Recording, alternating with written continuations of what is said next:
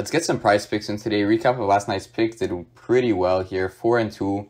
We Jimmy Butler went off here and Kyrie could not pull through, but I'm pretty happy with a four and two day. We'll get straight onto the board and we're gonna take just one pick from the NHL today.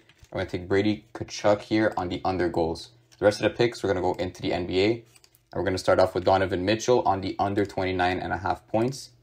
We're gonna follow that up with Mikal Bridges on the under PRA. So the other picks we're going to go with our Bagley on the over points. And we'll check the dashboard here for the last two. I'm going to be doing a six pick again tonight. So there is Brook Lopez here, 22 and a half PRA over, and Dorian Finney-Smith under. Both the best picks on the board, but I took them earlier today in a different entry, so I'm not going to double up on them. Instead, I'm going to go with Zach LaVine under 26 and a half points.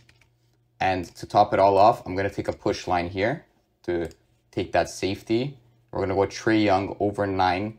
His 9.5 is juiced to minus 108 with a 52% chance to hit. But we're getting him at 9. So we're going to take that for the push potential. That's going to revert us into the 6 flex. Let's lock this one in.